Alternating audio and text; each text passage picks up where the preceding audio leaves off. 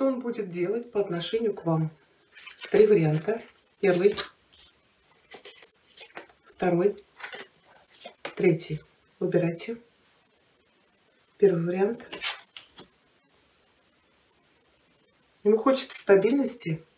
И в то же время, очевидно, в отношениях была рутина. Ему хочется что-то поменять.